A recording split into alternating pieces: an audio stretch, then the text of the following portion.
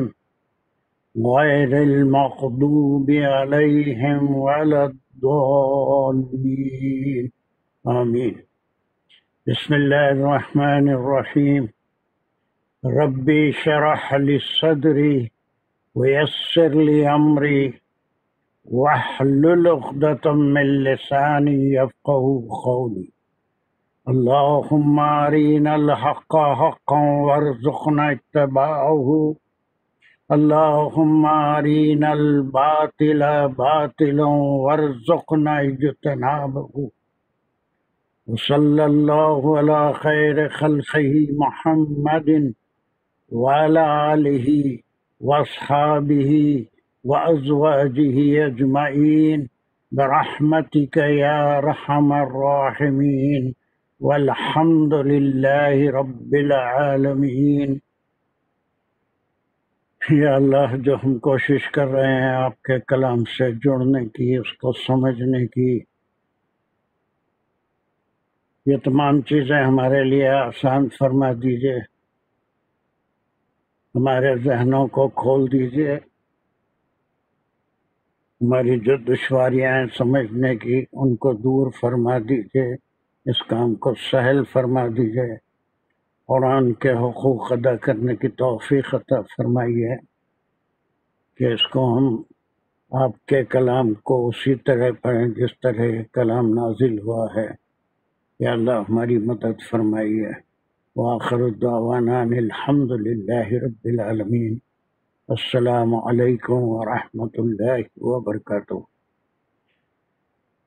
yes, the meeting is in progress, inshallah. Uh, the reader is Danish, but he sent me a text message. Just salam. Uh, you have to leave a bit early, okay? We will uh, take someone to carry on, inshallah. as Inshallah. far as you can do. Yes, come on. Bismillah ar-Rahman ar-Rahim. We have to do the verse number 189 and 187 we did and what was the orders in that 187 में जो अहकाम आए थे वो क्या अहकाम थे वला ताकुलु अम्वालकुम ये तो किसी भी 188 में आप कह रहे हैं जी 188 के जो अहकाम 188 प्रीवियस जी 188 के जो अहकाम थे उसमें था कि वतुदलु बिहा इलल हुक्कामी ला तअकुलु वला अमवालकुम बैनकुम इसमें तमाम अहकाम आ गए कि कोई भी चीज़ किसी दूसरे को नुकसान पहुँचा के या हक तलफी करके हासिल करना, वो अल्लाह सुबहान तआला ने उसे बातिल करार किया गया करार दे दिया था। और उसके बाद से कि हर चीज़ रिस्क हलाल की यहाँ पर हुक्म आया था। और फिर उसमें बहुत सी बातें आई थी वम तुम तालुम भी बता दिया था कि इंसान जो भी करता है, वो कोई मासूमियत से नहीं करता बल्कि जानते, बूझते दूसरों की हक तलफी करता है दूसरों का माल गलत तरीके से खाता है। तो इस तरह से यहाँ तक पाँच काम आ गए थे। पहला हुक्म था जो आया था वो याद है दानिश आपको सर तरतीब। एनीवन एल्स कैन जहन में नहीं है। Can anyone give what was the first order कसास हुक्म आया था। किसास का number two very good number two anyone number two विरसे का आया था। ये सब वसीयत के बारे में। नंबर थ्री नंबर थ्री पूरा तफसील से चार पाँच आयतों में एक हुक्म आया था। रमज़ान शरीफ रमज़ान के बारे में। Next what was the fourth one पूरा रमज़ान के बीच में एक एहतिकाफ का भी ज़िक्र आ गया था। जी। Yes now fifth one what was the fifth one ये लास्ट जो ला ताकुलु अमवालकुम वेरी गुड खत्म। चलिए। Now this are the two orders are here in this आयत और दो अहकाम हैं। और एक तो यह पढ़ेंगे चाँद के बारे में और दूसरा हुक्म है सुपरस्टिशन या फालतू किस्म के जो अकायद थे, उनको रद्द किया गया। ये दो अहकाम हैं। चलिए, दानिश, इसकी रेटिंग करिए जल्दी से। अऊज़ुबिल्लाहिमिनश्शैतानिर्रजीम बिस्मिल्लाहिर्रहमानिर्रहीम यसअलूनक अनिल अहिल्लति कुल हिया मवाक़ीतु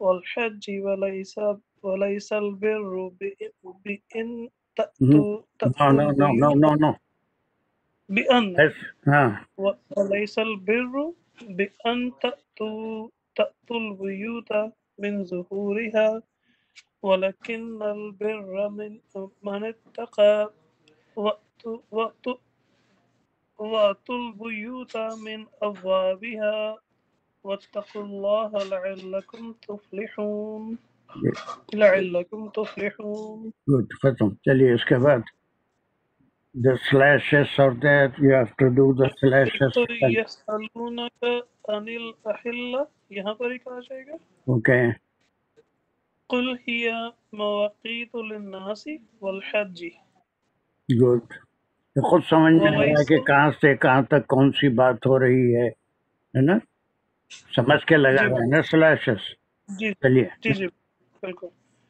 वलैसल बिर्र बिअन तअतुल बुयूत मिन ज़ुहूरिहा। से यहाँ तक भी कह सकते हैं? मिन ज़ुहूरिहा। हो चलिए हम्म, बिर्र मिन तक़ा यहाँ तक हो जाएगा? नहीं है। देख के पढ़िए। मानिल सॉरी हम्म। मन तक हम्म, सॉरी। चलिए। वतुल बुयूत मिन अबवाबिहा गुड वत्तकुल्लाह लअल्लकुम लअल्लकुम तुफ्लिहून तुफ्लिहून yes. So what what is the first part of this ayah? यसअलूनक अनिल अहिल्ला से जुमला फेलिया बनेगा पूरा हम्म, क्योंकि फेल से शुरू हो रहा है और जो ये फेल वर्ब है पूरा इसमें फेल फ़ाइल फेल और मफूल तीनों आ जाते हैं।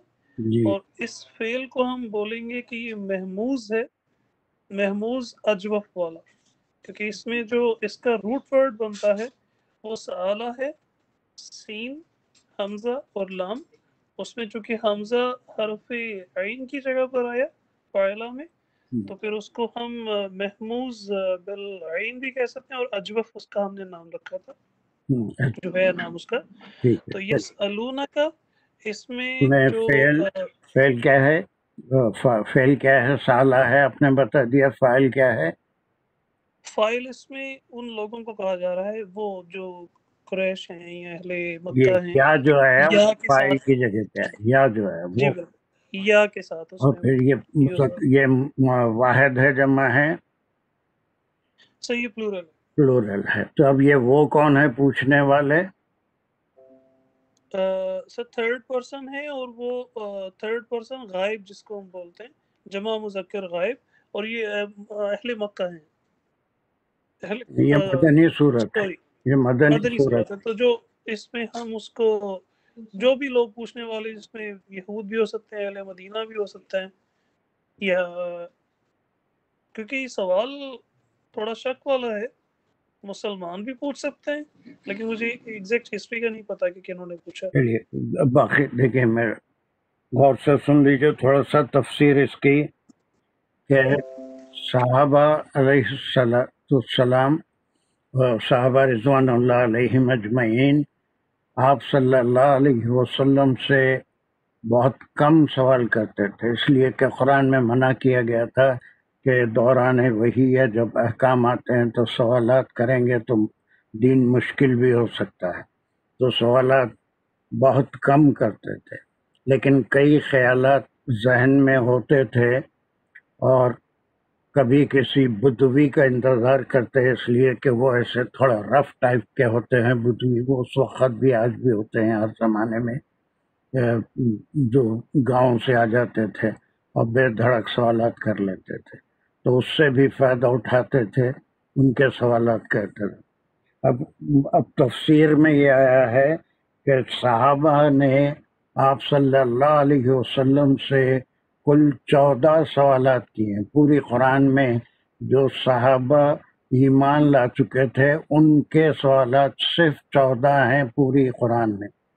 बाकी बुद्धवी होते थे या फिर यहूदी होते थे या दूसरे लोग होते थे, मशरकिन होते थे, वो सवाल करते थे, लेकिन जो ईमान ला लिए, वो सवाल बहुत कम करते थे।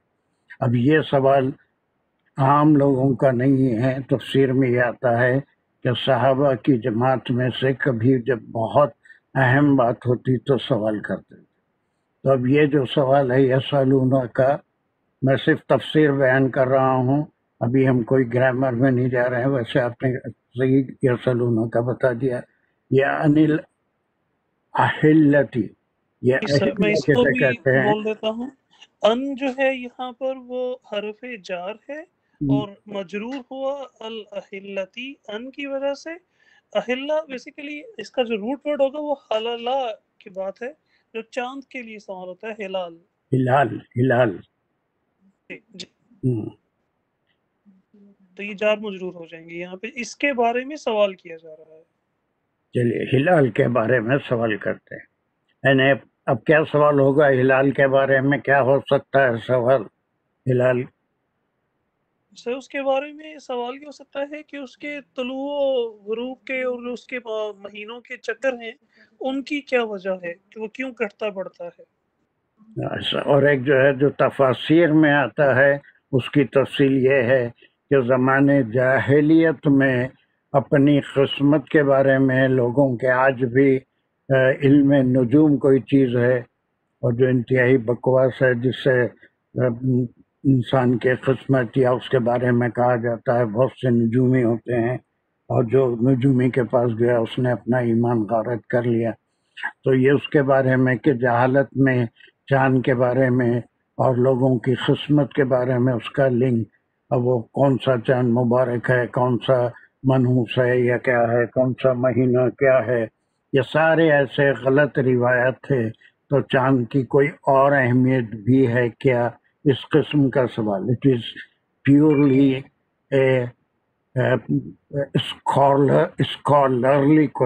that the sahaba asked आप सल्लल्लाहु अलैहि वसल्लम कि वो क्या चाँद की कोई और अहमियत भी है या सिर्फ़ ये कि वो तारीखें बताने के लिए या फिर महीने हिलाली महीने को ज़ाहिर करने के लिए चाँद निकलता है? That was it was not a ambiguous question बल्कि बहुत ही स्कॉलरली क्वेश्चन था अक्लमंदी का सवाल था कि चाँद की से हट के कोई अहमियत है? कि other than showing the time या फिर जो है उससे महीने का अंदाज़ा हो, या फिर साल का अंदाज़ा हो, वक्त मालूम हो इससे हट के कोई और अहमियत भी है? हमारी ज़िंदगियों से कोई और ताल्लुक़ है? ये सवाल आपसे किया गया। उसके जवाब में अल्लाह सुबहान ताला कुल से उसका जवाब फरमा रहे हैं ये कुल जो है ये ऑर्डर है किसको है? अच्छा, आप अपने से कोई बात नहीं फरमाते थे बल्कि वही के ज़रिए ही बात का जवाब देते थे तो फिर आपको वही के ज़रिए फरमाया गया कि हबीब आप वो लोग जो स्कॉलरली सवाल कर रहे हैं कि चाँद की और कोई अहमियत इसके अलावा भी है कि उससे तारीख मालूम की जाए इबादतों को दिन मुकर किए जाएँ, ख़ास ख़ास इबादतें जैसे रमज़ान है, हज है, या फिर बहुत सारी इबादतें हैं जिनका ताल्लुक़ चाँद से है, हिलाली भी होता है, वक्त का तयन और फिर ये कौन सा सोलार और लूनार दोनों भी टाइमिंग से इबादतें होती तब तो उसके बाद यहाँ पर हिया आया इसको हम और थोड़ी तफसील अभी करेंगे जैसा पहले से करते आ रहे थे। लेकिन ये ज़मीर हिया है। कौन सी किसकी ज़मीर है? मोनस की है मुजक्कर की है? की है तो किसके लिए आया है ये? हिलाल के लिए जिसके बारे में। सवाल किया ठीक है? हम्म। यहाँ पर एक बात ध्यान में रखिए जो अभी तफसील में हम करेंगे वो ये है कि अहिल्लता कहा गया लेकिन कुरान में बेशुमार जगह कमर का ज़िक्र आया है कमर। हम्म, और शम्स और कमर का ज़िक्र आया है। लेकिन यहाँ पर अल अहिल्लती उसकी अहमियत भी हम अभी जब हम नहू एनालिसिस करेंगे उसमें करते हैं इंशाल्लाह। मवाक़ी मवाक़ीतु मवाक़ीतु क्या है ये? अकीद जो है ये, ये उसकी एक तो सबसे पहले ये इसम है हम्म। और इसम में भी ये जमा है मुजक्कर। मुजक्कर है जमा है इसमें जो रूट वर्ड इसका बनता है वो वक्त बनता है। तो वक्त की जमा रूट वर्ड वाक़ाता बिल्कुल। हाँ उसको ऐसा वक्त वर्ड नहीं। बट वक्त बोलेंगे तो फिर वो मजदर हो जाएगा। मजदर हो जाएगा। वाक़ाता और ये फिर जो हदूद हरम है आप तो वहाँ पर रह के भी आए हैं मतलब सैकड़ों बार वहाँ पर गए भी हैं तो उनको क्या कहते हैं हदूद हरम को?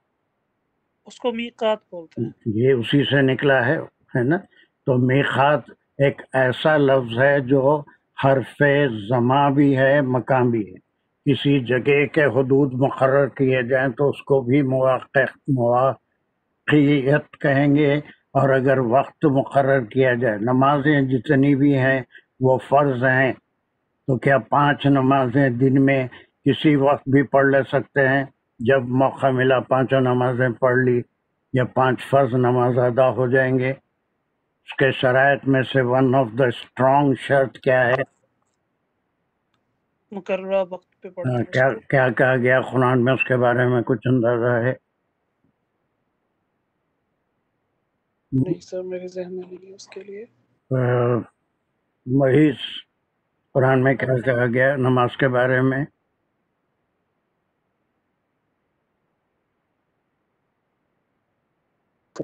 सलात का वाला इन सलात मुमिनीना मौखूफा का ऐसा मौकूता मौकूता यानी मौकूता, शराइत मौकूता, से वो जो है वक्त के लिहाज से फ़र्ज़ है फजर फजर के वक्त ही पढ़ी जा सकती है जोहर उसका एक स्टार्टिंग टाइम है एक एंडिंग टाइम है उसी टाइम के बीच में पढ़ी जा सकती है फजर का भी स्टार्टिंग टाइम है एंडिंग टाइम है हर नमाज़ का स्टार्टिंग टाइम है एंडिंग टाइम है, और इन तमाम अवकात में, मुख्तलिफ़ अवकात में हज़रत जब्राईल अलैहिस्सलाम तशरीफ़ लाते थे और आप अलैहि वसल्लम को इब्तदा में नमाज़ पढ़वाते थे, ताकि कोई एक वक्त बिल्कुल इतने बजकर इतने मिनट पर नमाज़ ना फ़र्ज़ हो जाए, बल्कि उसका एक टाइम होता है। और वो बड़ी सहूलत के लिए अल्लाह ने मौका दिया कि वो जवाल के बाद से साया कितना होने तक ज़ोर का टाइम है, फिर असर का टाइम कब तक है, मगरिब का टाइम कितना है ईशा का टाइम कब तक है, तमाम जो शरायत नमाज़ हैं, उसमें से one of the strong condition is मवाक़ित है वो। यानी टाइम की पाबंद है वो। टाइम वक्त की पाबंदी है उसमें। जो वक्त है, उसी वक्त पे वो नमाज़ पढ़ी जाएगी। तो हिया मवाक़तुल्लिन्नास अब यहाँ पर ज़रफ़ मकान होगा या ज़रफ़ ज़मा होगा? ज़रफ़ ज़मा होगा। कि लोगों को जो इबादतें हैं वो उनके लिए वक्त बताने के लिए। वक्त बताने कौन सा महीना रोज़ों का है कौन सा महीना हज का है और फिर वो चाँद की कौन सी तारीखों में हज किया जाएगा कौन सी तारीखों में रोज़े रखे जाएँगे रोज़ा कब शुरू किया जाएगा कब ख़त्म किया जाएगा, ये सारी चीज़ें लोगों को वक्त, सिर्फ़ अल्लाह ने यही बता दिया, इससे हटके और कोई उसमें कोई तीसरी का चाँद मनहूस नहीं है, चौदहवीं का चाँद कोई महीना मनहूस नहीं है, जैसे जो मौजूदा महीना है। बड़े मुसलमानों में इस किस्म के रिवायतें आ गई मनहूस महीना है, इसकी तेरह तारीख तो और ज़्यादा मनहूस है। अस्तफरल्ला नौजबिल्ला ऐसी कोई बात, कोई चीज़ इसके अंदर नहीं है, बल्कि चाँद जो है वो सिर्फ़ अल्लाह सुबहान ताला ने सूरज से भी वक्त मालूम होता है। उसको सोलर टाइमिंग कहते हैं, शमसी औकात शमसी औकात भी से भी इबादतें होती हैं और लूनार टाइमिंग से भी इबादतें होती हैं। कोई और शमसी महीने के लिहाज से रमज़ान का, को तय नहीं किया जा सकता, हज को तय नहीं किया जा सकता, वो सिर्फ़ लूनर टाइमिंग से होगा। तो अल्लाह सुबहान ताला ने एक हुक्म दे दिया उनके सवाल पर कि या, या, या है ना? लोगों के लिए टाइम ये टाइम नमाज़ का भी टाइम हो सकता है रोज़ों का भी टाइम हो सकता है फला टाइम जो भी है ये तमाम जो है लोगों के लिए वक्त तो बताना ये यही उसकी अहमियत है बस। वल हज ये वाह उसका अतफा गया। और उसके बाद हज मातूफ है किसके ऊपर मातूफ है? सही ये लिन्नास के ऊपर। लिन्नास पे नहीं हुआ। मवाकीत लिन्नासी वल हज तो मतलब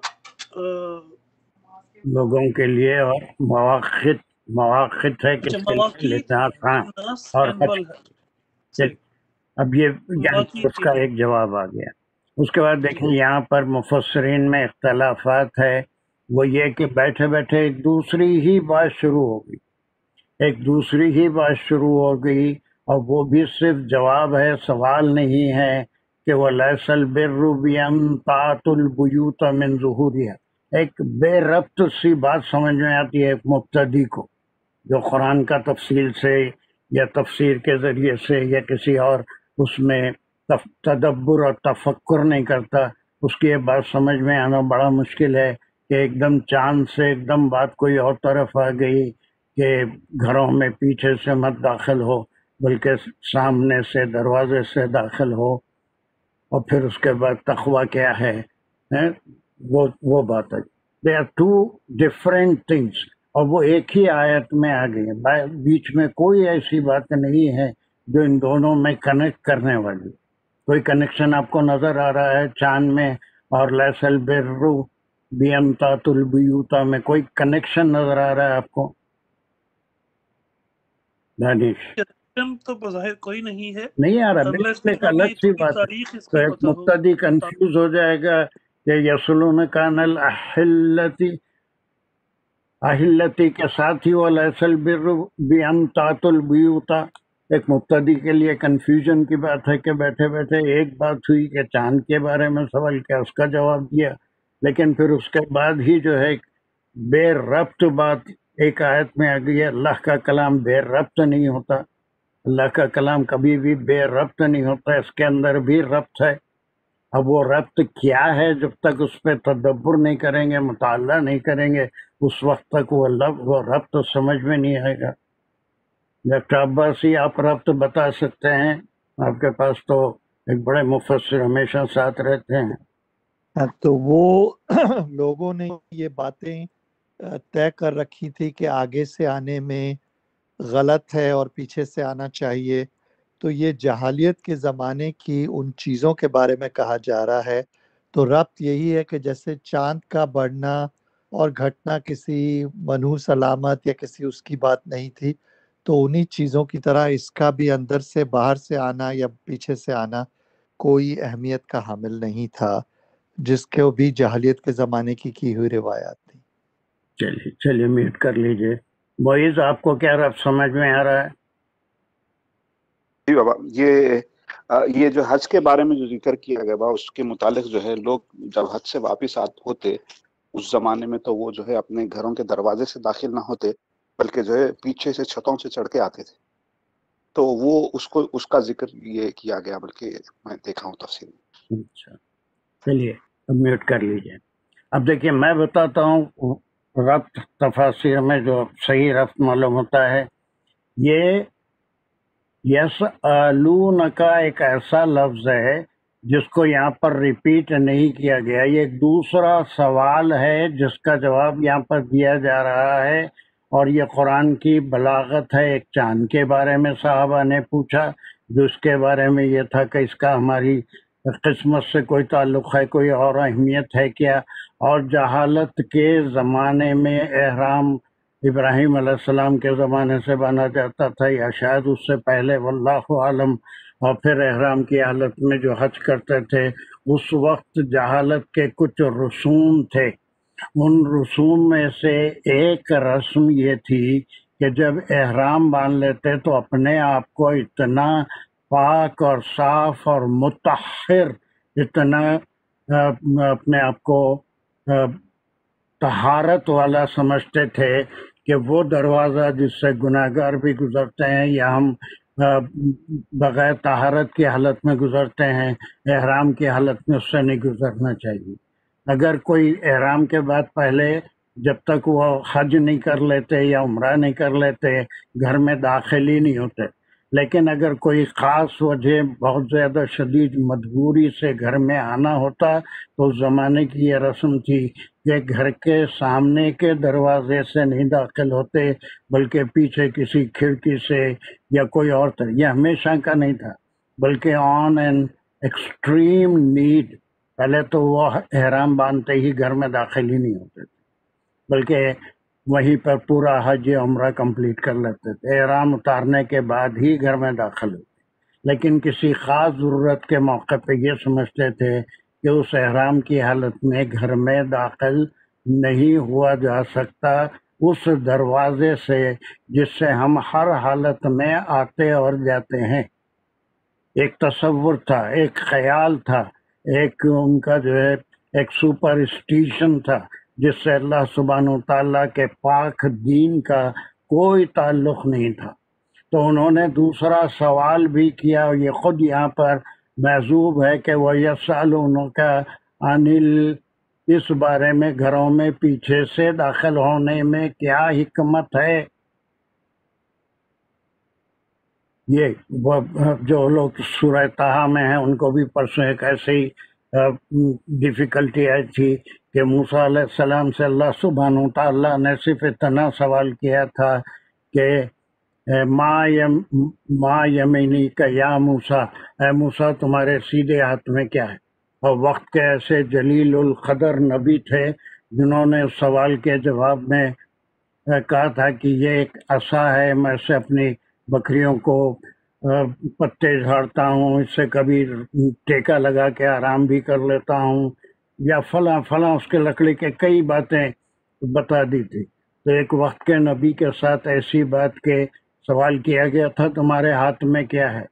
और वो बड़े इंटेलिजेंट पीपल होते हैं, हमारे जैसे गुनाहगर लोगों से जितना पूछा जाए, उतना ही जवाब देते हैं, उतना ही जवाब देना भी चाहिए, उसमें कोई और कहानियाँ खुद से घरना नहीं चाहिए। तो फिर वहाँ पर वक्त के इतने बड़े नबी, में बहुत तफसील से वो सूरता में समझाया था कि उन्होंने इतनी तफसील बयान की। अक्सर मुफसरीन बस वो अल्लाह से मोहब्बत में, मोहब्बत ऐसी थोड़ी होती है कि अपनी बात अल्लाह को सुना रहे। मोहब्बत है तो फिर अल्लाह की और मज़ीद बातें सुनने की ख्वाहिश होगी। तो वहाँ पर भी ऐसा ही मसला था कि दूसरा सवाल छुपा हुआ था।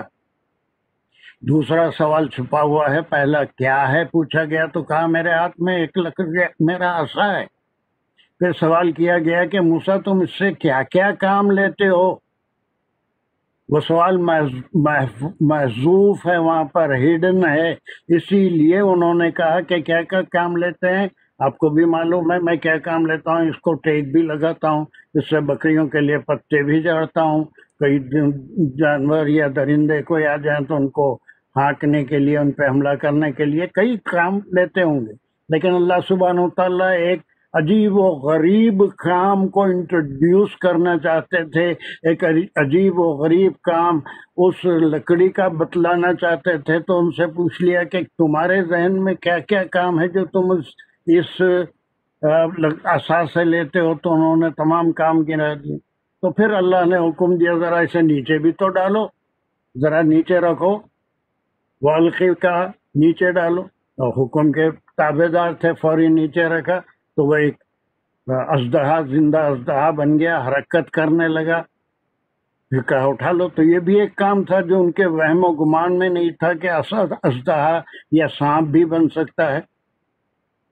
तो वैसे ही यहाँ पर भी एक रब्त है कि it was a second question about the customs that people used to follow when they were in the in the, in ihram. जब वो एहराम की हालत में होते तो जहालत के कुछ रसूम के मुताबिक अगर कोई शदीद ज़रूरत होती है और घर में जाना होता तो सामने के दरवाजे से नहीं आते थे।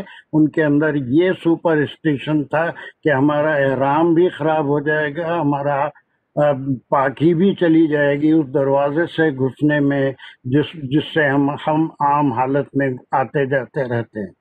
इसलिए वो कोई शदी ज़रूरत के वक्त ऐसे छतों को फाड़ फाड़ के अगर आराम की हालत में आने लगता तो ही बाकी नहीं रखते या फिर पीछे से नखब लगा के आते। तो फिर ये तो कोई रस्म ही नहीं थी। शदीद हालत में अगर आना होता तो फिर कोई और तरीके से आते, जिससे आम तौर पे लोगों का गुजर नहीं होता, खिड़की से आते नकब लगा के आते, कोई और तरीके से घर में दाखिल होते थे। तो उसके बारे में भी सवाल हुआ आपसे कि इसकी क्या अहमियत है? लोग ऐसा क्यों करते हैं कि आराम की हालत में घर के दरवाजे से क्यों नहीं जाते? जहालत की बड़ी खदीम और पुरानी रस्म थी। तो उसका जवाब अल्लाह सुबहान तला ने यहीं पर दे दिया। रब्त यही है कि ये दो सवाल थे जो किए गए। एक यसलूना का ताल्लुक अनिल अहिलती है। अनिल जो है अब ये एक जो पुरानी रस्म और बड़ी सुपरस्टिशियस रस्म जिसका अल्लाह सुबहान तला के दिन से कोई ताल्लुक नहीं है, वो सवाल था कि उस उस हालत में, आराम की हालत में क्या हम अपने घरों के दरवाजे से जा सकते हैं यहाँ से हालाँकि तमाम जहालत में कई ऐसे चीज़ें थी जिसकी बहुत सख्ती से पाबंदी की जाती थी। जैसे सुरह नूर में पढ़ेंगे आप, ले पालक को बिल्कुल अपने बेटे की तरह मानते थे और उसकी मुतलका से निकाह कभी भी नहीं हो सकता था। आप सल्लल्लाहु अलैहि वसल्लम को हज़रत जैनब से निकाह का हुक्म हुआ था। आप उसको आप पसो पेश फरमा रहे थे। उसको वो सारी चीज़ें। तो ऐसे तमाम चीज़ों के बारे में जब सवाल करते और सहाबा करते थे सवाल, ये बहुत ही स्कॉलरली सवाल होते थे, बहुत ही इंटेलिजेंट सवाल होते थे, बहुत ही मीनिंगफुल सवाल होते थे। वैसे नहीं जो यहूद करते थे या मुशरकिन करते थे, वैसे सवाल नहीं होते, बल्कि स्कॉलर तो उस रस्म के बारे में जब पूछा गया तो अल्लाह सुबहान ताला ने फरमा दिया, वो लैसल बिर्रु। ये लैसा क्या है? दानिश? अब ये समझ में आया आपको रब कि it is the answer for the next question that the साहबा आस्क जो रसूम या ख्यालात थे लोगों के उस बारे में कि क्या चाँद से हमारी किस्मतों का भी कोई ताल्लुक़ है या हमारे आफात समावी का भी कोई ताल्लुक़ है या फिर जो है मुसीबतें भी कुछ चांदों से आती हैं, कुछ महीनों से आते हैं, कुछ तारीखों से आती हैं। जो जो जहालत की, आज भी जहालत की ऐसी बहुत सी कस्में हैं। फला तारीख का चाँद मनहूस है, उसे नहीं देखना चाहिए। फला महीना मनहूस है, उस महीने में कोई काम आज भी आप देखेंगे मुसलमानों में माह सफ़र में अब तो खैर थोड़ा तब्दीली आ रही है, कोई अच्छे काम नहीं करेंगे। शादियाँ आमतौर पर नहीं करते या कुछ और ऐसा ऐसे काम नहीं करते। हालाँकि वो बिल्कुल अल्लाह के दीन के खिलाफ बात होगी तमाम दिन अल्लाह के, कोई दिन मनहूस नहीं होता, कोई दिन मनहूस नहीं होता। खास फजीलत में कोई दिन दूसरे दिन से ज़्यादा फजीलत रख सकता है। जैसे जुमा है, आम दिनों से ज़्यादा फजीलत है।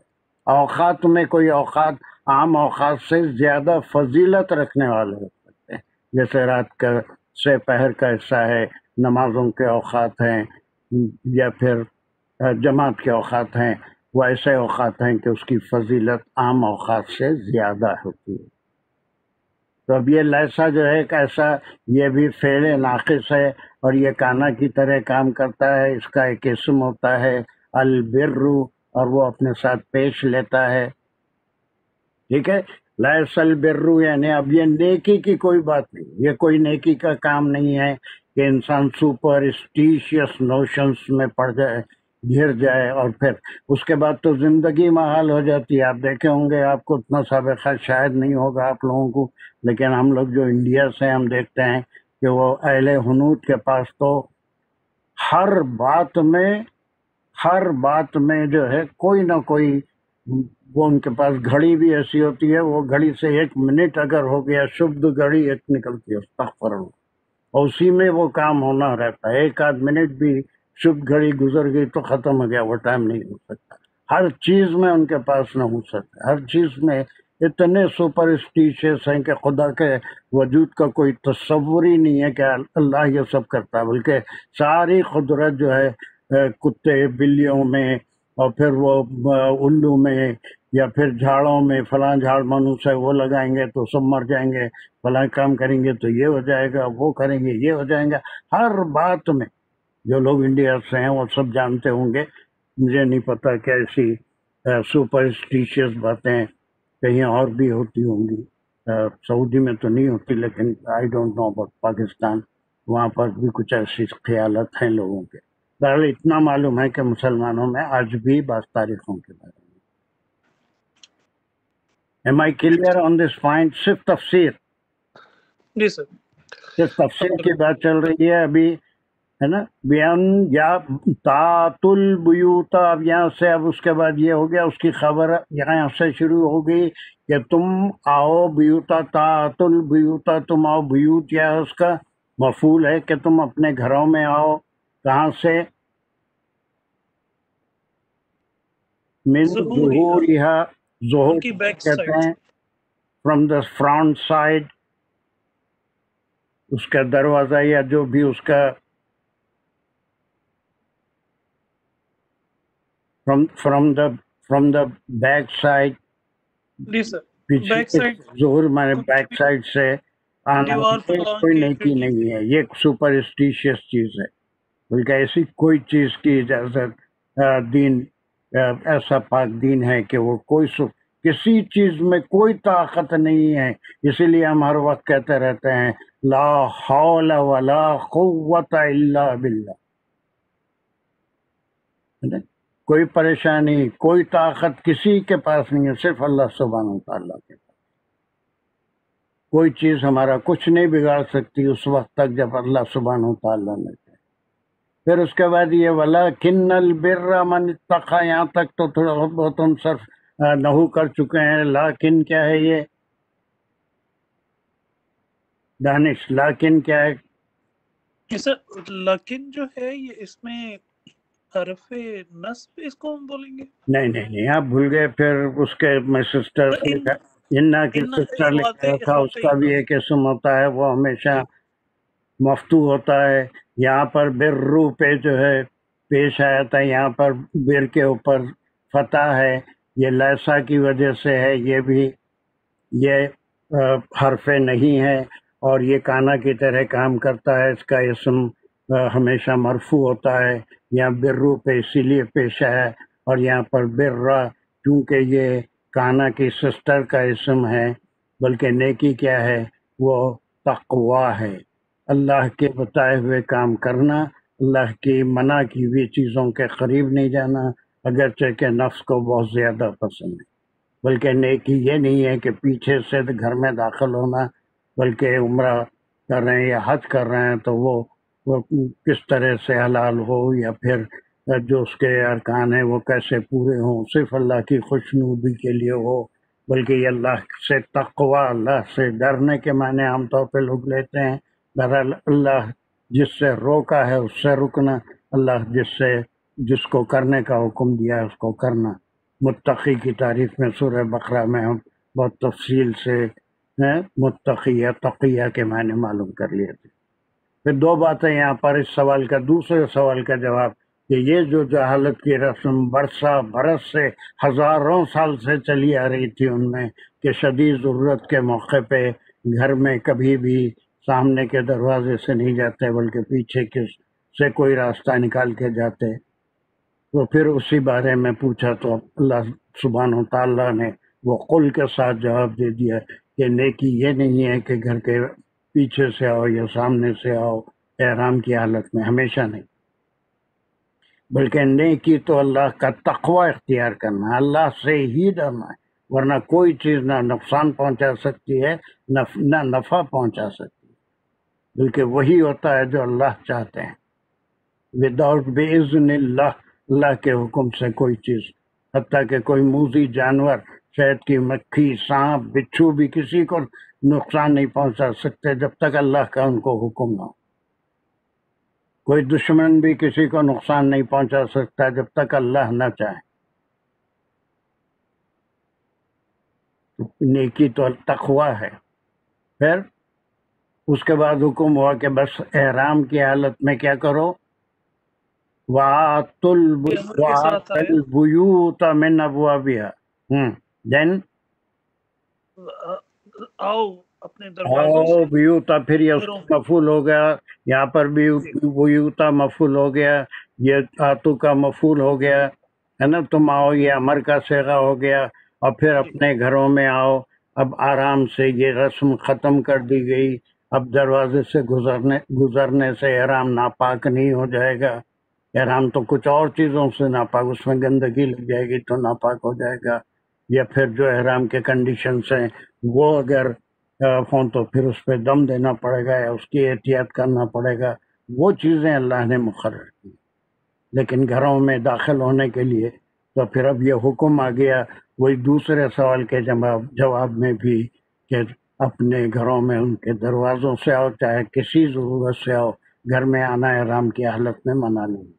किसी वक्त भी आ सकते हैं, दरवाजे से आ सकते इट्स नॉट फॉरबिडन लेकिन कुछ चीज़ें हैं, जिससे मनाही है वो एहराम की हालत में नहीं की जा सकती। जैसे रोज़े की हालत में बहुत सी चीज़ें मनाही है वो नहीं की जा सकती। वैसे एहराम की हालत में भी नहीं की घर के अंदर जाना कोई बुरी बात नहीं है, आराम की हालत में घर में भी दाखिल और फिर उसके बाद सारा कंक्लूजन इन दोनों हालतों में, चाहे वो चाँद का मामला हो, चाँद से मत हो कि ये हमको मनहूस कर देगा, हमारी आफात आएँगे, बलैयात आएँगे, मुसीबतों में गिर जाएँगे, बीमार हो जाएँगे, तीसरी का चाँद देखे तो तीसरी का चाँद देखे किसी दूसरे को देख लिए तो वो दुश्मन हो जाएगा, वो फला हो जाएगा, अस्तगफिरुल्लाह। ये जो बातें मैं कह रहा हूँ सिर्फ़ मुझे ही मालूम है या आप में से भी कोई जानते हैं ऐसे ख्याल लोगों के होते हैं? या मैं ही जानता हूँ सिर्फ़? दानिश। यहाँ तो यहाँ तो होते हैं सब बिल्कुल होते हैं ख्याल इस तरह से लोगों ने अपने बस अल्लाह ने उन्हीं का रद्द फरमाया। जी उनके लिए अल्लाह ताला ने हुक्म के साथ यहाँ पर बोले तो ये लोग समझेंगे अमेरिका का ज़िक्र कर रहे हैं आ, इंडिया में बोलिए ना। इंडिया में तो आप जी जी। इंडिया में होते हैं जी। इंडिया में तो यहाँ भी यहाँ में भी बहुत होते हैं। आप देखें जैसे बल्कि थर्टीन नंबर की ये लोग बहुत ज़्यादा तोहम बरसी करते हैं। ये जो इनके त्योहार हैं इसके हेलोवीन वगैरह के भी इन्होंने इनको भी रूहों के साथ मुंसलिक कर रखा है। फिर उनको भगाने के लिए अजीबो गरीब शक्लें लगाते हैं तस्वीरें लगाते हैं। हाँ। तो ये सारी उन्हीं तोहमात से मुतल्लिक हैं कि वो ये समझते हैं कि ये तो उनको महफूज करेंगे नौजबिल्ला तो उनके पास तो ऐसे ही है किसी को कुछ थोड़े दिन के लिए भगवान बना के घर में बिठा लिया फिर उसके बाद किक आउट करे लिया के पानी में फेंक दिए बस वो थोड़े दिन जो बैठे उसमें जो सारी बरकत आ गई। अब उसके बाद भगवान की कोई ज़रूरत ही नहीं है। उसको किक आउट करो ले जाओ पानी में फेंको मरदूत को उसका क्या काम है? थोड़ा दिन रहा वही बहुत ज़्यादा हो गया। है ना। सही। इंडिया में है ऐसा बहुत से को होता है एलिफेंट गॉड होता है, उसको थोड़े दिन तक बिठाते हैं और बिठा के फिर ले जाके उसे फेंक के आते हैं पानी में और उसके बाद खत्म उतने दस दिन, बारह दिन, पंद्रह दिन उसका घर में रहना, साल भर की बरकत होती। फिर साल हुआ तो तशरीफ़ लाना आप घर में, उससे पहले फिर आने की ज़रूरत नहीं। उसके बाद किक आउट कर देते हैं उनको। कैसे कैसे रुझानात, कैसे कैसे अकायद? और फिर इतने कट्टर होते हैं उन अकायद में कि वो अगर नहीं करे तो समझते हैं कि सब कुछ खत्म हो गया। वो आठ दिन उसको घर में रखना ज़रूरी है। फिर ले जाके पानी में दसर जन कहते हैं उसे, उनको पानी में डुबो कर ख़त्म कर देते हैं। चलिए। ये सारे का कंक्लूजन तुफलिहून। इसका कंक्लूजन है कि हर मामले में इंसान को सिर्फ़ अगर हुक्म मानना है या तखवा इख्तियार करना है क्या करना है, क्या नहीं करना है तो वो क्या है? ये ये तो वत्तकु क्या है? ये अमर है। जी फेल अमर आ गया वत्तका और उसमें फेल जो है ये, इसकी हालत अगर हम देखें तो लफीफ है और मफरूक है। क्योंकि इसका रूट वर्ड जो बनेगा वाकया बनेगा। इसमें जो हमारे तकिया तका। ये तक ये जो है तकवा भी उसी से है। डरना या बचना बस अल्लाह के नाफरमानियों से बचो है ना? फिर ये ला अल्लकुम तफली तुफलिहून ये ला अल्लाह क्या हो गया फिर ये? जल्दी लाइल्ला ये फिर वही इन्ना की हाँ इन्ना का सिस्टर हो गई और उसके बाद उसका एक इसम हो गया और फिर तुफलिहून ये फेल है जो उसकी खबर है। खबर। शायद तुम इससे तुम फला पाओ। जो अल्लाह से डरेगा अल्लाह के हुक्म के मुताबिक काम करेगा इससे शायद तुम फला पाओगे। यहाँ तक सिर्फ़ तफसीर हुई। अब देखिए जो काम हम लोग कर रहे हैं ये सिर्फ़ अल्लाह की तौफीक से हो रहा है। अल्लाह इसे कबूल करे कि अब तक जो हुआ, यहाँ पर इस आयत की बात कर रहा हूँ। अब तक जो हुआ, हमारे पास इसका फोल्डिंग थी। हम अल्लाह के कलाम को समझने के लिए मेरी बात शामिल हो रही थी अल्लाह के कलाम को समझने के लिए। या किसी मुतरजम की बात सा, सामने थी। मुतरजम को हम फॉलो कर रहे थे। अल्लाह के कलाम को फॉलो नहीं कर रहे। तफसीर को तफसीर भी बहुत ज़रूरी होती है। और उसके उस वक्त के हालात और उस वक्त के जो मौक़े थे जो लोगों में रसूम थे वो सारे मालूम करना वो भी हिस्ट्री का भी मताल बहुत ज़रूरी है। इसीलिए वो हिस्ट्री ऑफ़ इस्लाम के कुछ क्लासेस हम रखे थे उसका जानना भी बहुत ज़रूरी है, उससे हमको कुरान समझने में। लेकिन अब तक जो हम करें, ये ये हम कुरान से नहीं समझे कि वो वो सवाल करते थे, फिर उन्होंने दूसरा सवाल किया, ये सब कुरान से नहीं समझे हम डायरेक्ट बल्कि बीच में ये सैयद साहब कहाँ से नापाक किधर से आके बैठ गए थे, उनकी बात, या किसी मुतरजम की बात हम कर रहे थे उसके तर्जुमे को।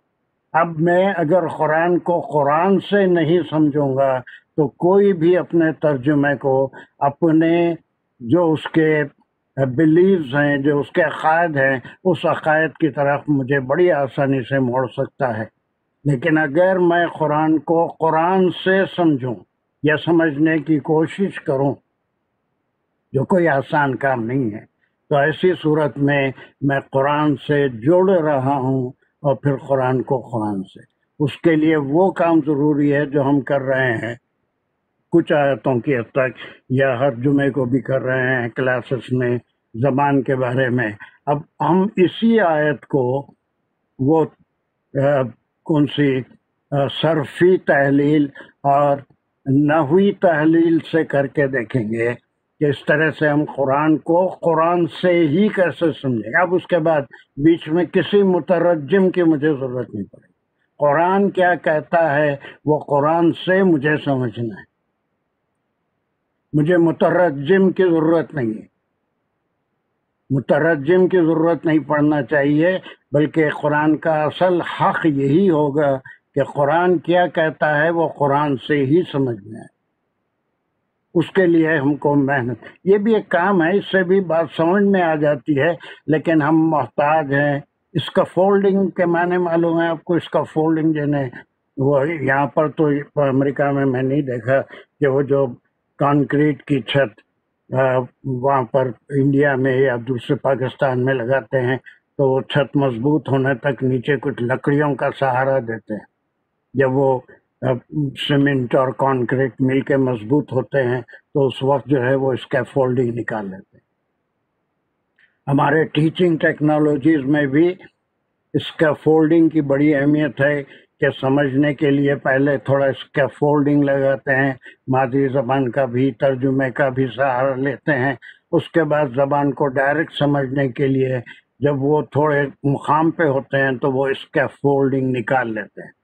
अब उसके माने ये है कि अब वो छत बगैर इसका फोल्डिंग के खुद खड़ी हुई है। ये डॉक्टर साहब के तिब में भी होता है कि जब कोई इंसान अपने पैरों पे खड़ा नहीं हो सकता तो उसको वो वॉकर दिला देते हैं, चार पाँच पाँव उसको पकड़ के। लेकिन फ़िज़िकल थेरापी पाँव की एक्सरसाइज करने से उसको एक वक्त ये आता है कि शायद उसका वॉकर छूट जाए और फिर वो अपने पैरों पे खड़ा हो जाए। उसके बाद वॉकर की ज़रूरत नहीं पड़ेगी। नहीं that is a main it's very important technology in teaching also बात को समझने के लिए इब्तदाई ज़माने में जब किसी को पढ़ाते हैं या ज़बान पढ़ाते हैं या कोई चीज़ तो उसको सपोर्ट देते हैं किसी चीज़ों की कि वो ज़बान को समझने के लिए थोड़ा तर्जुमा भी कर ले उर्दू में भी समझने की कोशिश करे। लेकिन उससे वो ज़बान को डायरेक्ट समझने में, अब अंग्रेज़ी है, बहुत से लोग तर्जुमे से सीखे होंगे बचपन में। तो आज भी अगर हम कोई चीज़ पढ़ते हैं तो क्या हर लफ्ज़ का उर्दू में तर्जुमा करके समझते हैं?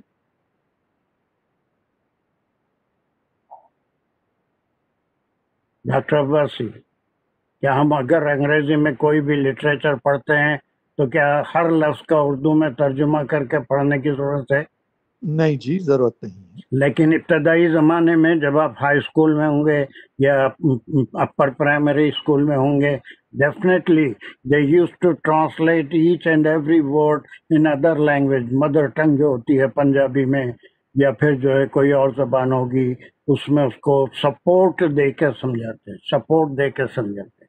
लेकिन बाहर- वो जी। फरमा रहे थे। वो सपोर्ट निकलना ज़रूरी है। वो सपोर्ट अगर निकल जाएगी तो उसके बाद डायरेक्ट समझने की सलाहियतें वो इतना आसान भी नहीं है। इतना आसान भी नहीं है। ओह सॉरी सॉरी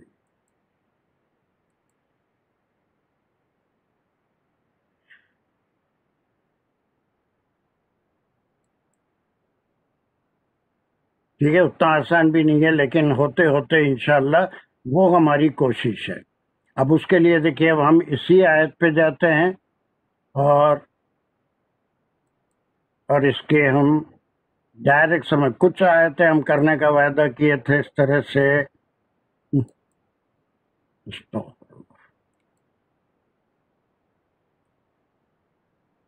वो वादा मैं पूरा कर रहा हूँ। चलिए, अब इसमें देखिए, थोड़ा टाइम लगेगा, कोई बात नहीं। ये पहले हम जो है, ये नाहवी तहलील है, उसको हम बाद में करेंगे। नाहवी तहलील जो है, वो अलग होती है कि उसमें फिर वो कहा गया तो क्यों आया, ये साला से ये सलूना क्यों आया? ये अनिल हिल्लती क्या है? ये सारी चीज़ें, ये सब एक एक आयत का टुकड़ा है जहाँ स्लैशेस लगाए थे। लेकिन हम इसके, उससे पहले इसकी सरफी तहलील कर लेते हैं। ये सरफी तहलील दिस इज़ कॉल्ड तहलील ए सरफी, यानी सर्फ। ये या टाइप में ऐसा आ गया, ये ये है खाली। ये सालून का चलिए इस लफ्ज के बारे में आप क्या क्या जानते हैं? यसालून का अब यहाँ पर हम जो करेंगे, वो क्या काम करेंगे? ये। अब हमको यहाँ पर मालूम होना है कि ये जो यस आलून का है, ये कंपाउंड सर्फ के लिहाज से कैसे बना? इसका सबसे पहले रूट वर्ड क्या है?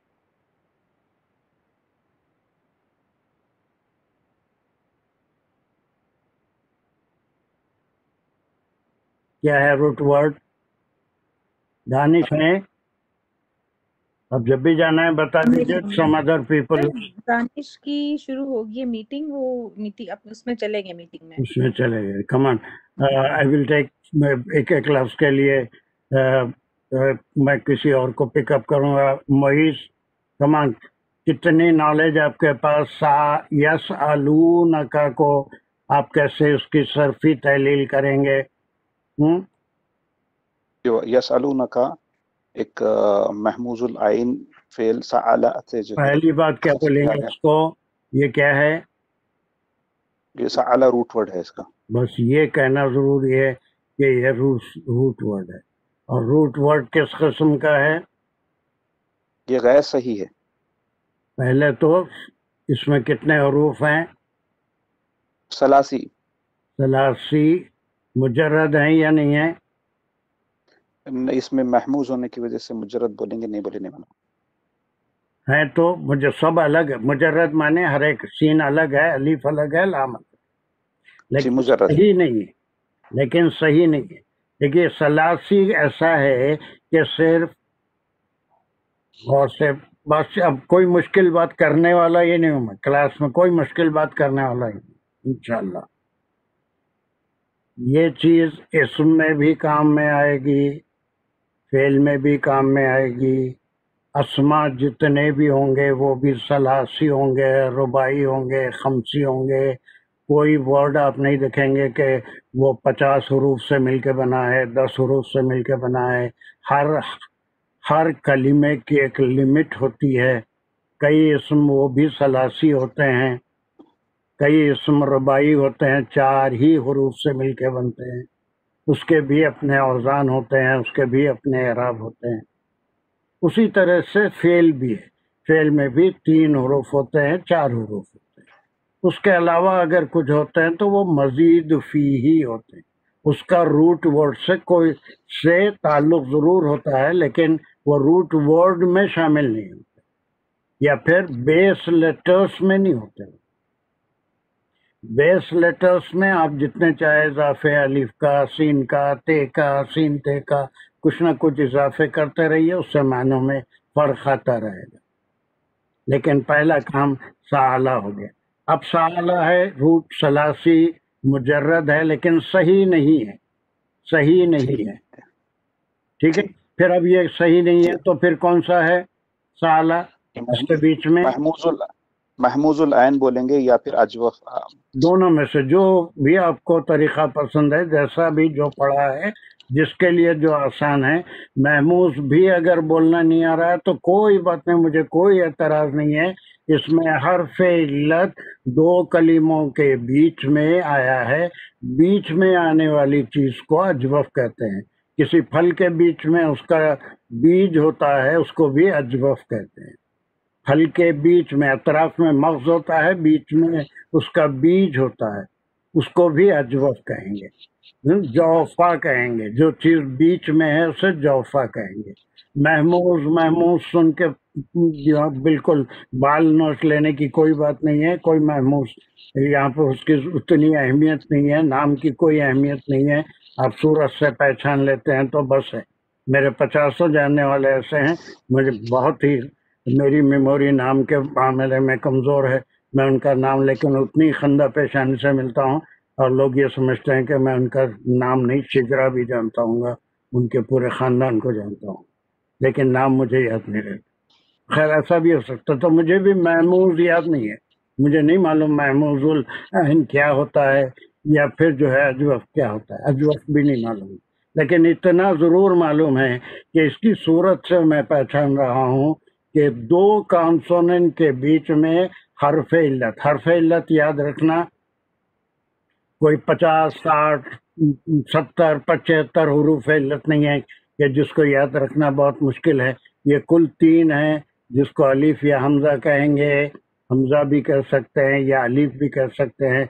दोनों एक ही बात है, या फिर वाव एक हरफ इल्लत है और या एक हरफ इल्लत है, बस खत्म हो गए।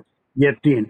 अब मुझे महमूस की भी ज़रूरत नहीं है, अजवफ की भी ज़रूरत नहीं है, मिसाल की भी ज़रूरत नहीं है, नाखिस की भी ज़रूरत नहीं है है ना? ये सब नाम मुझे याद ही नहीं है, मैं पहचानता भी नहीं उनको नाम से, सिर्फ़ सूरत शनासा ही। है और ये सूरत देख के मैं पहचान ले रहा हूँ कि ये एक कॉन्सोनेंट सीन है, एक कॉन्सोनेंट लाम है, इसके बीच में हरफ अतफा गया तो ये मुजर्रद ज़रूर है, तीन हरूफ ज़रूर हैं, लेकिन ये सही नहीं है। ये सही नहीं है। हम कल छः छः नसरा के सही के हम वो छः की गर्दान करे थे। नसरा नसरा नसरू नसरत नसरता नसरता। सरना ये छः करे थे। चलिए अब ये साला है अब इसमें कोई फ़र्क नहीं होगा। मुजारे में बहुत कम फ़र्क आता है हरफ इल्लत आए या ना आए। जी। चलिए अब ये साला के आप छह गर्दान कर दीजिए। सअला सअला सअलू सअलत सअलता सअलना सहालता है ना? कल वो इकबाल को एक बड़ी तकलीफ़ हो रही थी सालता नहीं कहना चाहिए सालता कहना चाहिए नसर नसरता नहीं कहना चाहिए नसरना कहना चाहिए। देखिए उसी तरह से ये है अब जो मफूल आएगा वो अटैच हो रहा है। वो नसरता में एक फ़ाइल है, वो आके ख़त्म हो गया, वो दो औरतें मदद की।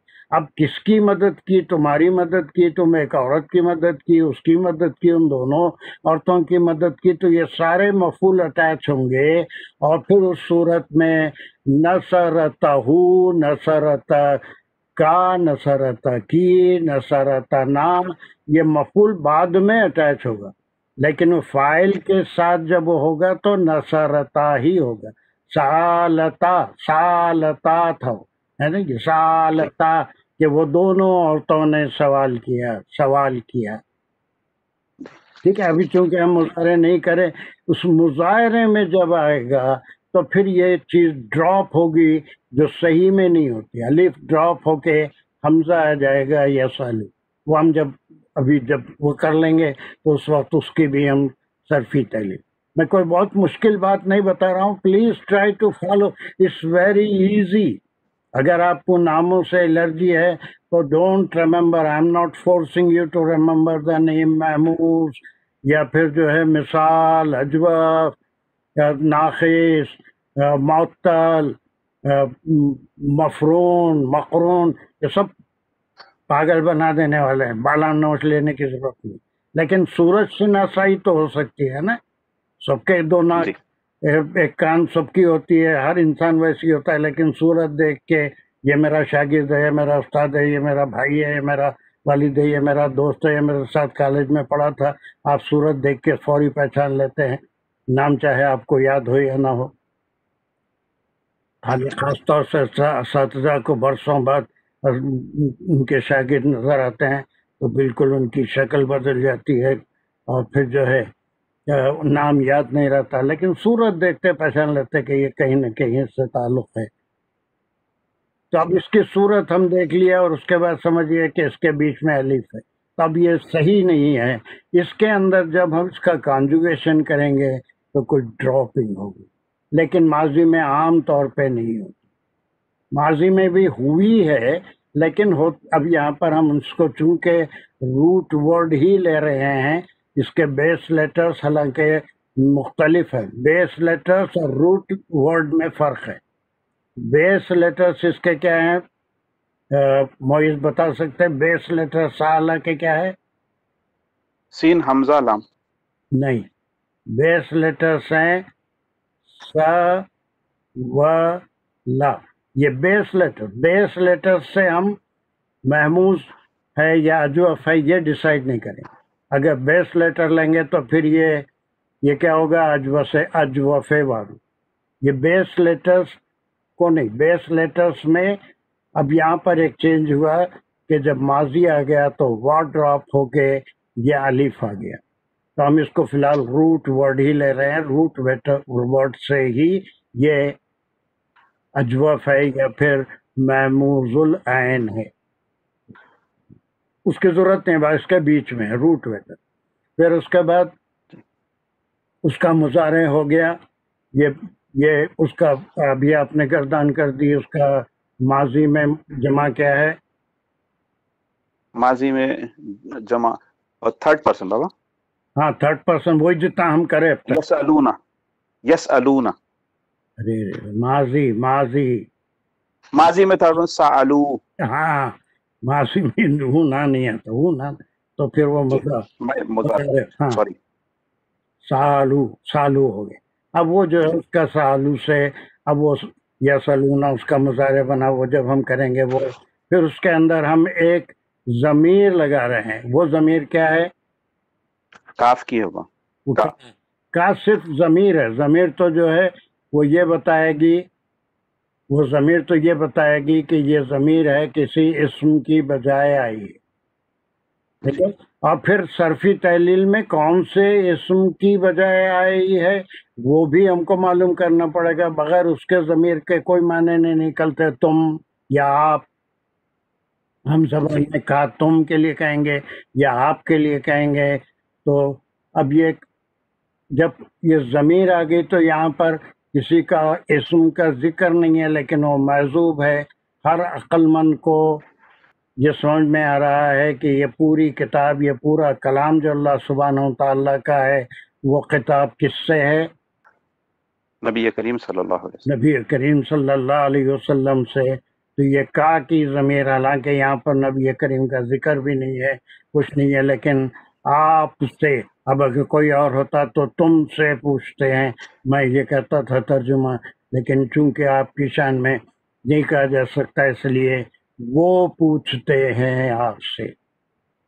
वो पूछते हैं आपसे। अब ये वो कौन है? ये भी महजूब है, वो पूछने वाले कौन है?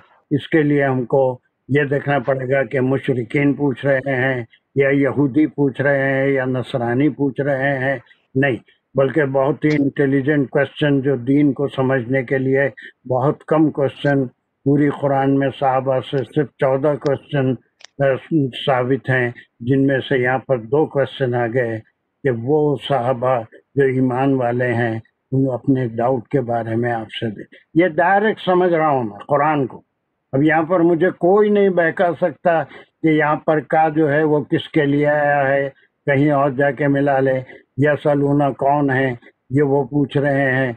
अब अगर मेरे पास डायरेक्ट समझने की कैपेसिटी नहीं है और कोई ये कह दे कि वो यहूदी पूछ रहे थे या मुशरकिन पूछ रहे थे तो वो वो वो कोई मुझे चक्कर नहीं दे सकता। Because I am I have removed all the scaffolding I do not need any help of another language अब इंग्लिश की उर्दू की ज़रूरत नहीं है मुझे। They they and we know that they means these are the very intelligent people who believe in सुबह and they were asking this question because वो जो सवाल करते थे, वो अल्लाह कैसा है, वो सबक कौन थे, वो वो जुल्खरनाइन कौन था, ये इस किस्म की बातें पूछते वो इस किस्म की बातें तो उसके भी जवाब यूसुफ सलाम मिस्र को पहली मरतबा बनी इसराइल कैसे पहुँचे मिस्र में? ऐसी बातें पूछते वो जांचने के लिए कि आप सल्लल्लाहु अलैहि वसल्लम अल्लाह के सही नबी हैं या नहीं? जो बातें हैं वो उनके पास जो किताब है, उससे करस्पॉन्ड होती है। ये किसी चीज़ को जांचने के लिए नहीं, इल्म हासिल करने के लिए यह सवाल होता उनके सवालत वो बहुत ही कनिंग क्वेश्चन होते थे। वो ये जांचना चाहते थे कि आप अल्लाह के रसूल भी हैं या नहीं अस्तफर इसलिए ऐसे ऐसे सवाल लेके आते थे। यहूदी वो मुशरकों को सिखा सिखा के भेजते थे, जाओ, जाके ये पूछ के आओ कि जुलखरनैन के बारे में आप क्या जानते हैं? असाब कहफ के बारे में आप क्या जानते हैं? आपका अल्लाह आखिर है कैसा? उसको कुछ तो बयान कीजिए। अल्लाह कहते हैं, खुल हु अल्लाह वो जो सवाल हैं बिल्कुल अलग नौीयत के। Cunning question these are the scholarly question कोई बात का सही क्या मतलब है? ये ये जानना चाहते साहबा इसलिए यस आलून का।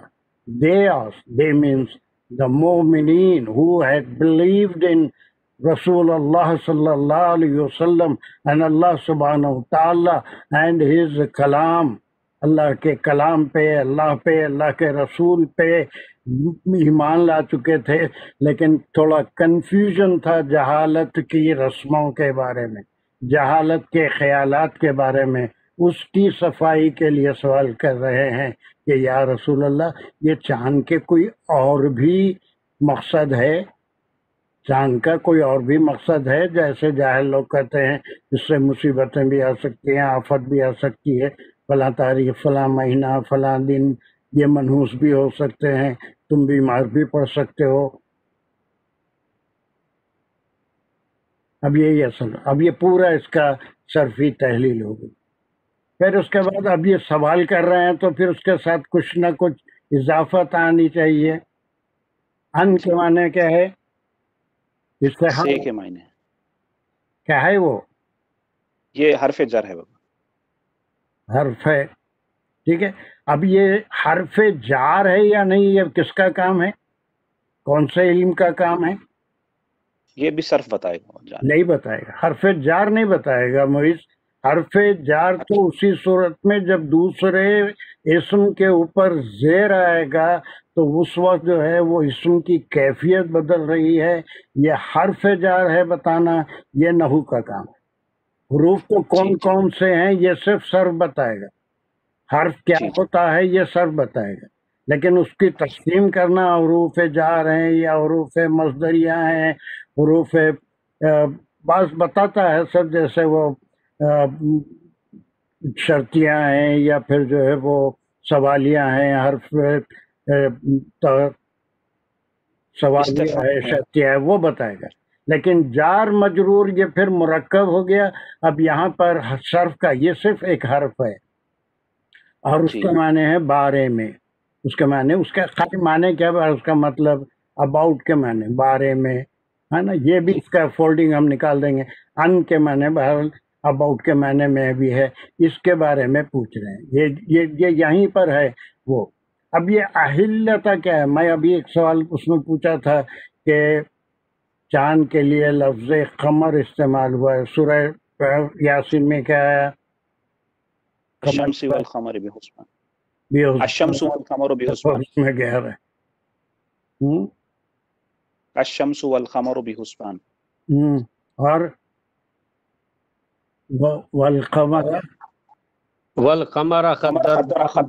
मनादिला हत्ता अदा हत्ता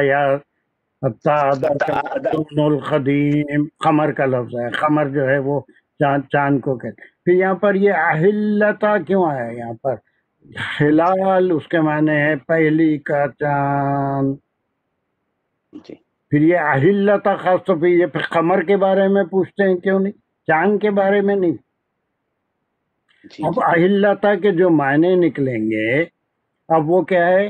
हिलाल से पूरा महीना उसकी शक्लें बदलती रहेगी हिलाल तो ये शक्ल का होगा, फिर थोड़ा मोटा होगा, फिर बड़ा होगा, फिर फुल मून होगा, फिर ये घटना शुरू होगा हत्ता आदा कल, उर्दून कदीम, ऐसा हो जाएगा। तो अब ये जो अल अहिल्लती मैंने हिलाली महीना चाँद की मुख्तलिफ़ हालतों के बारे में, कौन सी वो बदर ज़्यादा मुबारक है, या फिर वो बदर ज़्यादा हमारे लिए बेहतर है, या हिलाल बेहतर है, या ये जो चीज़ें हैं, ये डाउट थे। About the changes in the phases of the moon चाँद के जो मुख्तलिफ़ फेसेस हैं, उसके बदलने में कोई और भी बात है, या कोई बस यही बात है जो जिस मकसद के लिए निकलता है कि आज पहली तारीख है दूसरी तारीख है आज चौब क्या है उसकी पच्चीस है सफ़र की छब्बीस की है। तो अब यहाँ हिल्लती के माने हिलाल या फिर चाँद की बदलती हुई फे, फेजेस उसके जो मुख्तलिफ़ शक्लें हैं शुरू से आखिर तक उसके बारे में सवाल कर रहे ये सवाल। ठीक है अनिल अहलत अब अनिल के बारे में हमको कोई बारे में या मायने मालूम करने की ज़रूरत नहीं है। अहिल्लती about the phases of the moon चाँद के बारे में सवाल। समझ ये बात? अब उसके बाद जी। पर फिर ये एक ये ये कुल कौन सा है? कुल के मायने? कुल कह दीजिए अमर का सेगा है। बस खत्म ये अमर हो गया अब ये कह दीजिए वगैरह कि हमको ज़रूरत नहीं पड़ेगी बल्कि अमर है हुक्म है अब ये कहने वाले कौन है? इसके फ़ाइल कौन है? हमको फ़ाइल भी समझ में चाहिए। फ़ाइल कौन है? फ़ाइल अल्लाह तबारक ताला है। अल्लाह सुबहान ताला ने यहाँ लिखा हुआ है। अल्लाह कहे के कह दीजिए। नहीं क्योंकि कलाम अल्लाह का इस वास्ते खत्म इसमें खुद ही बात समझ में आ जाती है। तो अब यहाँ पर खाल अल्लाहू कहने की ज़रूरत नहीं है। कुल बस सीधा कह दिया हम हुक्म दिया कह दीजिए। फिर इसके अंदर एक एक इसके अंदर मफूल भी है छुपा हुआ। जी हाँ वो नबी करीम सल्लल्लाहु ऊपर जो का का जमीर गुजरा था उस तरफ़ आप कह दीजिए पूरा हो गया। अभी हम मुझे किसी इसका फोल्डिंग की ज़रूरत नहीं है तर्जुमे की ज़रूरत नहीं है। This is the order coming from Allah सुबहान तआला टू नबी सल्लल्लाहु अलैहि वसल्लम। इसका फोल्डिंग निकालते जाना है। तमाम हज़रत गौर से सुने इस, इसका फोल्डिंग समझ में आ रहा है अभी समझाया था कि सपोर्ट हम देते हैं जबान को समझने के लिए। और हमारा सबसे बड़ा अलमिया ये है कि बस हम कुरान को शुरू से आखिर तक बस सपोर्ट से ही समझना चाहते हैं। तर्जुमे से चंद से कहानियों के तौर पे बयान कर लिए।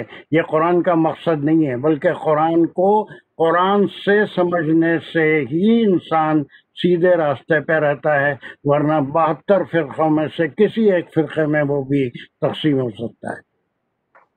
कुरान को कुरान से अगर समझेगा तो इन अल्लाह की हिदायत को समझेगा किस मकसद के लिए यह कलाम आया है, अल्लाह उससे क्या चाहते हैं कि ये जो ज़िंदगी दी है उसको किस तरह गुजारना है। यह मौाक़ तो वह है। अब ये बेल भी हो गई, लेकिन ये, लेकिन this is the very important मैं बहुत स्लो चल रहा हूँ। ये पूरी सर्फ हम एक एक लफ्ज़ की सर्फ करेंगे, जिसमें इसका फोल्डिंग निकालते जाएँगे, तर्जुमा नहीं। ये सारे जो है, फिर यहाँ से हम नाहवी तहलील करेंगे, दो अल्फाज मिल रहे हैं। फ़ी फ़ी सभी ही अब इनमें रब्त क्या है, ये हम इंशाल्लाह शायद का करेंगे। एक आयत अगर हम कर लिए तो इंशाल्लाह ये आपको आइंदा की आयतों में भी बहुत काम आने वाली है। बस ये इतना, इसके दो टुकड़े करके। नहीं, ये तो बात की आयत है। इससे लैसल बिर्रा। ये ये पूरी सरफी तहलील है, इसकी नाहवी तहलील ऊपर है। ये नाहवी तहलील है। अब ये जब पूरा टुकड़ा जो हम कर रहे थे स्लैश लगा रहे थे, वहाँ पर हम देखेंगे कि ये जो काफ जमा तो इससे फिर ये दो लफ्ज मिले। अब ये कौन सा फेल है, कौन सा फ़ाइल है फ़ाइल ज़मीर है, या फिर कोई इसम है? फिर ये ये अन मिलने से आहिल आहिलती ये जहर क्यों आया, ये ना वो बताएगा। इसमें बहुत ज़्यादा मैं बहुत मुश्किल तो नहीं कर दिया ना आपको। फिर भी जैसे कि अगर किसी को कोई तकलीफ़ हो रही है समझ में नहीं आ रहा है मुझे ये सुनने की आदत भी नहीं है और पसंद भी नहीं है कि आप ये बहुत अच्छा पढ़ा दिए नहीं मैं कुछ भी नहीं हुआ नथिंग अच्छे का लफ्ज या समझ में आया नहीं वो मैंने सुनना नहीं चाहता। मुझे ये कि हमको ये समझने में तकलीफ़ हो रही है ये बात। इसलिए कि जो इवेल्युएशन हमारे पास होता है असेसमेंट हम जिसे कहते हैं, हर आदमी जो पढ़ के आया है दुनिया में या कभी पढ़ा है, उसको मालूम है कि वो अपने लर्नर्स का इवेल्युएशन करता है। वो कितने पानी में है? वो किस लिए क्या किया जाता है इवेल्युएशन उसको A grade B grade C grade देने के लिए? सी ग्रेड ले रहा है अभी है तो वो टीचर का सी ग्रेड है। बी ग्रेड ले रहा है अभी तो वो वो टीचर का बी ग्रेड है, ये ए ग्रेड ले रहा है, अभी तो टीचर का ए ग्रेड है। उसके बात को पहुँचाने में कोई कमी थी कि वो सी ग्रेड ले। कुछ और भी चीज़ें हो सकती हैं, वो सिर्फ़ क्लास में सुन लेना चाहता है, बाकी कोई टाइम देना नहीं चाहता तो ऐसी सूरत में। तो मैं सिर्फ़ ये चाहता हूँ कि मेरी बात कहाँ तक पहुँची और उसको ग्रेस्प करने में आपको क्या तकलीफ़ हुई? वो कल की क्लास में भी मैं पाँच दस मिनट दे सकता हूँ। मुझे सिर्फ़ ये चाहिए कि कहीं I have thousands of methods to present the content in as many ways as possible. इस क्लास में भी मेथड्स मैं हमेशा चेंज करते रहता हूँ।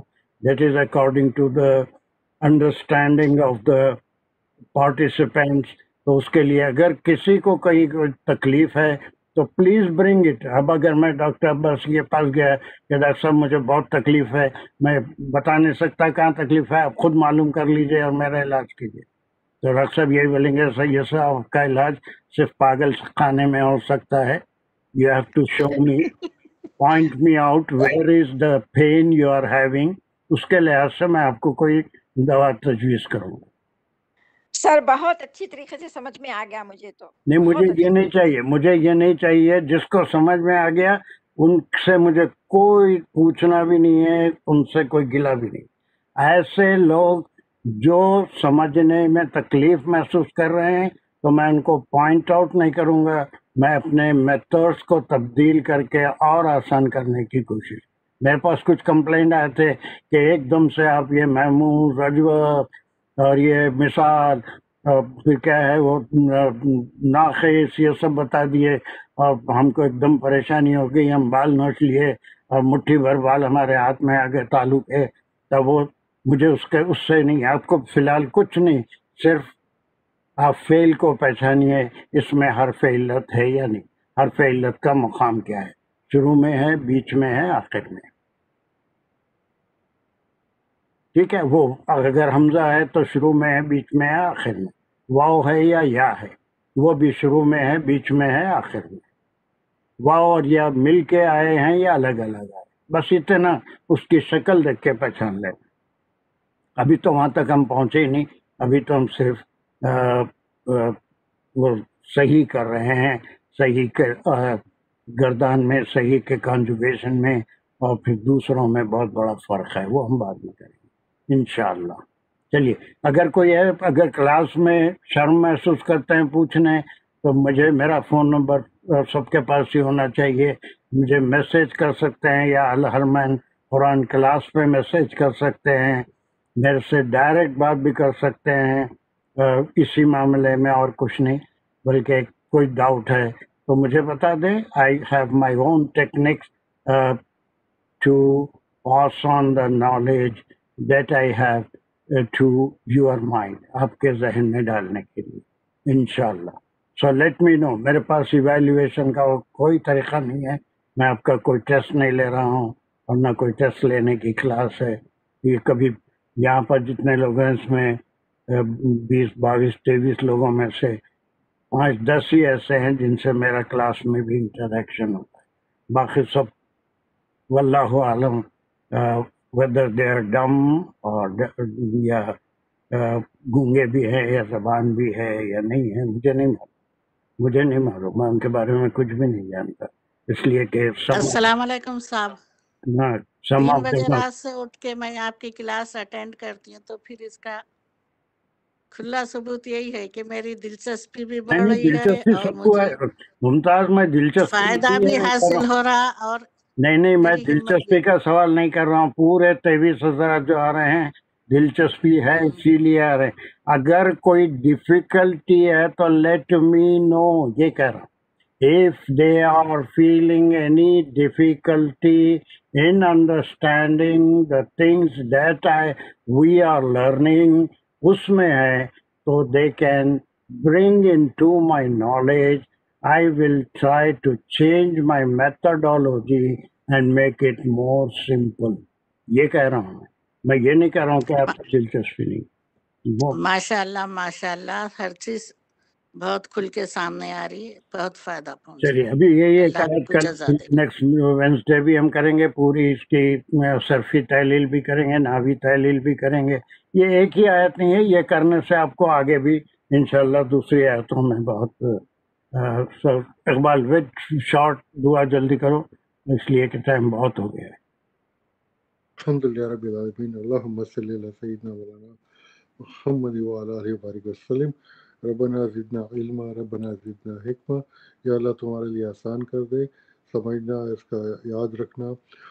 और सबके लिए आसान कर दे जो जो मुश्किलातें आ रही हैं दूर कर दे उसको तो कबूल कर दे जो गलतियाँ हैं उसको तो माफ़ फरमा दे जो मुश्किल में है परेशान है बीमार है सबके लिए आसानियाँ कर दे अपना रहम करम का मामला कर दे जो हमें भी आखिरत में भी और हमें ईमान की दौलत से मालामाल कर दे।